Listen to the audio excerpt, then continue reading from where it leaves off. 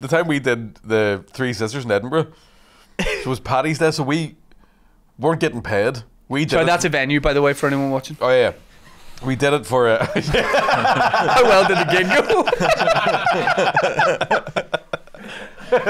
yeah, the Thrammy sisters. Back in town, boys.